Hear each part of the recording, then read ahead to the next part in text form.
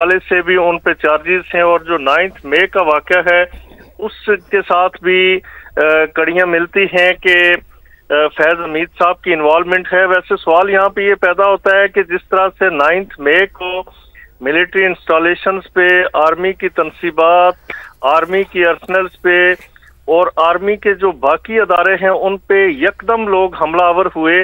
तो इसका मतलब ये हुआ कि कोई अंदर का इम्पोर्टेंट फर्द था जिसने ये बता दिया कि आपने फला फला जगहों पे फ़ौरन हमलावर होना है और वो सारी जगह उन्हें लोकेट कर दी गई थी आइडेंटिफाई करके तो उन्हें बता दिया गया था। यानी बहुत सारे आर्मी ऑफिसर से जब बात होती है तो वो कहते हैं कि कुछ अदारे चूँकि जो उनसे मुतलिक नहीं हैं, जिनमें जॉब नहीं करते, जो उनसे रेलिवेंट नहीं है, रावलपिंडी, इस्लामाबाद या लाहौर के शहरों में होने के बावजूद आज तक ना तो उन्हें विज़िट किया गया, ना ही उन्हें पता है कि कौन सा अदारा किस जगह पे वाक़ है। एक डॉक्टर को पता हो सकता है कि उनका रिहेबिलिटेशन सेंटर किधर है, उनका ए एफ़ आई डी किधर है ए एफ़ आई पी किधर है एम एच या सी एम एच किधर है।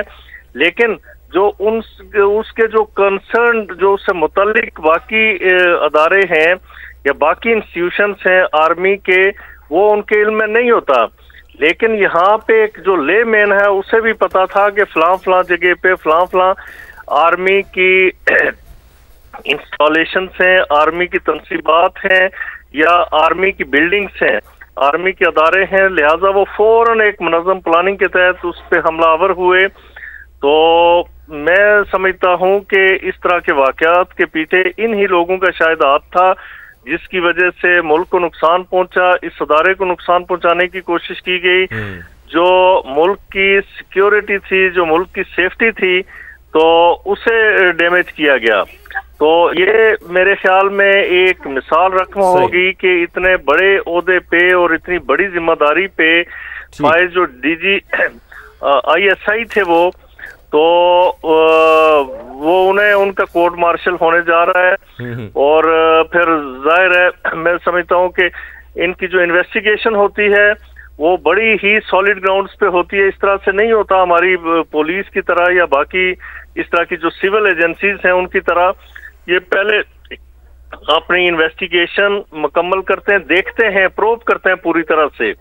फिर आठ डालते हैं और फिर उससे फॉर्मल इन्वेस्टिगेशन की सूरत में या फॉर्मल जो उसका कंक्लूजन है या जो फॉर्मल उसका आउटकम है वो सामने आता है। बिल्कुल बिल्कुल। तो, इसी इसी मामले को मैं लेकर जाऊँगा। तलत हुसैन साहब की जाने तलत साहब जैसे कि ज़िक्र भी कर रहे हैं और वो बात भी कर रहे हैं राजा खालिद साहब भी कि बहुत सॉलिड ग्राउंड्स हैं और जो इन्वेस्टिगेशन है वो यकीनी तौर पर अब मुकम्मल हुई होगी जिसके बाद अब चार्जशीट किया गया है। तो इसका मतलब है ऐसा कहा जा सकता है कि इस नौयत तक केस हमें माजी में नहीं मिला अब तक।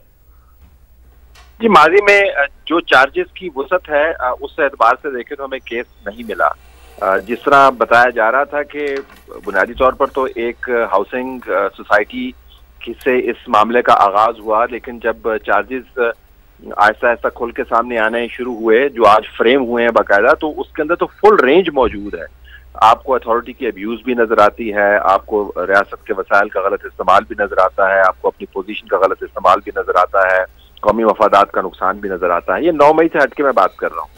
लेकिन बड़ा सवाल जो चार्जेस फ्रेम हुए उस हवाले से ये होगा कि वो डीजी आईएसआई हो या डीजीसी हो या जीएचक्यू के अंदर वो कमांड कर रहे हों या पिशावर कोर कमांडर हो तो क्या जनरल फैज ये तमाम का तमाम नेटवर्क और तमाम का तमाम एब्यूज ऑफ़ अथॉरिटी जो है, वो खुद से कर रहे थे या इनकी मुआवनत भी मौजूद थी? नौ मई की मुआवनत के हवाले से तो मेरे ख्याल में बड़ी संजीदा तफ्तीश जारी है। लिहाजा मैं उसके ऊपर कमेंट नहीं करूँगा कि वो तफ्तीश जारी है। जो। चार्जेस फ्रेम हुए हैं ये बड़ा सवाल उठेगा कि क्या उसके बारे में उस वक्त के army chief general Qamar Bajwa को पता नहीं था? क्या उनकी मिली भगत से या उनकी खामोश इंडोर्समेंट से काम नहीं हो रहा था? और कौन? चूँकि फौज का निज़ाम जिस तरह अभी बात हो रही है वो बहुत ही तगड़ा निज़ाम है। वो प्रमोशंस के निज़ाम से लेके शिफ्टिंग के निज़ाम से लेके अपनी इंटरनल ओवरसाइट के निज़ाम से लेके बहुत ही अच्छा प्रोफेशनल निज़ाम है। तो एक शख्स का इतने काम करना, इस अंदाज से काम करना कि उसका कोर्ट मार्शल बन जाए। और बाकायदा एक बड़ा केस बन जाए गैर मामूली, और वो क्या अकेला काम कर रहा था? अगर अकेला काम नहीं कर रहा था तो वो पूरा नेटवर्क कौन सा था? जो उनकी सुपीरियर्स हैं, उनकी क्या ज़िम्मेदारी थी? जो उनके पियर्स हैं उनकी क्या ज़िम्मेदारी थी जो उनके नीचे काम करने वाले उनकी क्या ज़िम्मेदारी थी। तो मेरे ख्याल में ये मामला सिर्फ़ एक शख्स तक महदूद नहीं रहेगा। ये नेटवर्क जो उस वक्त ऑपरेट कर रहा था नौ मई के नेटवर्क की तरह जो उनकी रिटायरमेंट के बाद सामने आया। हम्म। उस वक्त के नेटवर्क के बारे में बड़ी संजीदा इश्यूज़ हैं और उस वक्त जो लोग अहम पोजीशन पर मौजूद थे जो जनरल फैज को बैक कर रहे थे प्रमोट कर रहे थे सपोर्ट कर रहे थे ट्रांसफ़र कर रहे थे अहदे दे रहे थे उनकी भी कुल्ली ज़िम्मेदारी स्टैब्लिश करनी होगी। सही। ठीक है, तलत साहब, आपका कमेंट आ गया। मलिक साहब, आपकी तरफ़ आते हैं। चार्जशीट के हवाले से मेरा सवाल यह है कि चार्जशीट में फैज हमीद पर नौ मई से जुड़े पुरतशद वाकत भी शामिल हैं। फैज हमीद ने पुरतशद वाकत में मजमूम सियासी अनासर से मिली भगत की। जैसा कि तलत साहब फरमा रहे थे कि जो उस वक्त एक पूरी टीम थी, जो पूरा एक नेटवर्क था गालिबा, ये कह सकते हैं कि शायद सबको मालूम था। और अगर ये हकीकत में मबनी बात है तो क्या फैज़ हमीद के अलावा और भी लोगों के फिर नाम सामने आएँगे? और भी लोग जो है वो हमें कटहरे में जाते हुए नज़र आएँगे या सिर्फ़ मामला फैज़ हमीद तक ही रहेगा?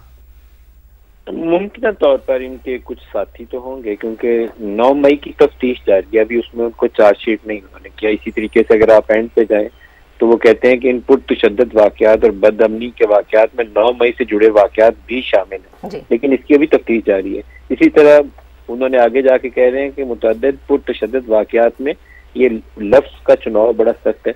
मजमूम सियासी अनासर की इमाम पर और मिली भक्त मिली भक्त इज़ वेरी इंपॉर्टेंट स्टेटमेंट मिली भक्त भी शामिल तफ्तीश है। इसके ऊपर इन्वेस्टिगेशन हो रही है। तो जब मिली भक्त हो तो वो एक इंडिविजुअल की तो नहीं हो सकती ना, क्योंकि नौ मई एक ऐसा इंसिडेंट था जब 200 के करीब फौजी तनसीबात के ऊपर प्रोटेस्ट हुए या उनको हिट किया गया, कहीं आग लगाई गई कहीं वो कोर्ट कमांडर हाउस वाला वाक्य हुआ, कहीं वो एम एम आलम बेस वाला हुआ आईएसआई के ऑफ़िस हिट हुए तो इंडिविजुअल एक्ट नहीं हो सकता, ये लार्जर देन दैट होगा। लेकिन उसमें स्केल ऑफ़ इन्वॉल्वमेंट कितने लोगों का था और किस लेवल का था, ये मैं सिर्फ़ बहुत बड़ा एक छक्का ही मार सकता हूँ, इसके ऊपर कोई इन्फॉर्मेशन नहीं अभी दे सकता। चार पाँच लोग ऐसे थे जिनका हमें बहुत अच्छा था कि एक या दो कोर्ट कमांडर्स लेवल के लोग थे जिनको उहदों से हटाया गया। दो तीन लोग ब्रिगेडियर लेवल के थे जिनको जो फैज के साथ गिरफ़्तार किया गया। तो इससे ज़्यादा कुछ कहना काफ़ी मुश्किल है कि हम एज्यूम करें या गेस्ट वर्क करें कि कौन कौन हो सकता है। इसके ऊपर आई थिंक ये जो इनकी इन्वेस्टिगेशन का प्रोसेस आगे चले तो बहुत मुनासिब होगा कि पूरी रिपोर्ट इसकी पब्लिश की जाए, ताकि सबको पता चले कि अगर एक आर्मी चीफ के खिलाफ सिटिंग आर्मी चीफ के खिलाफ कोई ऐसी कोशिश की गई थी और उसके अंदर पोलिटिकल एलिमेंट भी इन्वॉल्वमेंट थी और कुछ आर्मी के सर्विंग या रिटायर्ड लोगों का भी रोल था तो क्या रोल था, उसकी एक्सटेंट क्या थी और उसके मुतलक सजा का जो अमल है, कितने शफाफियत के साथ आगे चला ये सारी चीज़ों की एक अहमियत होगी इस मामले को आगे ले जाने के लिए। जनरल फैज हमीद एक कमज़ोर पाकिस्तानी नहीं है, एक ऑर्डनरी पाकिस्तानी नहीं है, जिसको पकड़ के कहीं कि मिसिंग पर्सन बना दिया या गायब कर दिया गया।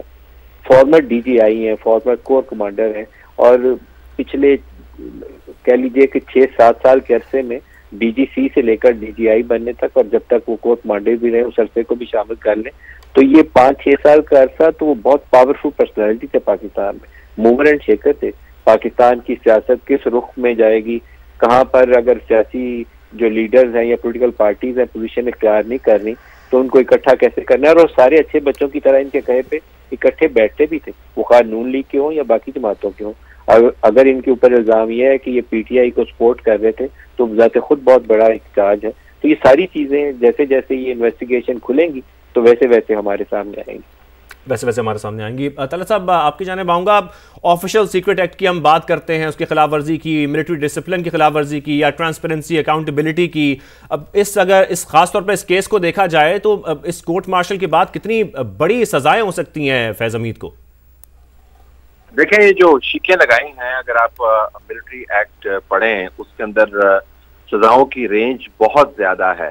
आ, मतलब कम से कम जो सॉफ्ट तरीन सजा जो है वो आपको आ, हफ्तों में नज़र आती है महीनों में नज़र आती है। जो ज़्यादा से ज़्यादा सजा है वो उम्र कैद और मौत की सजा भी है।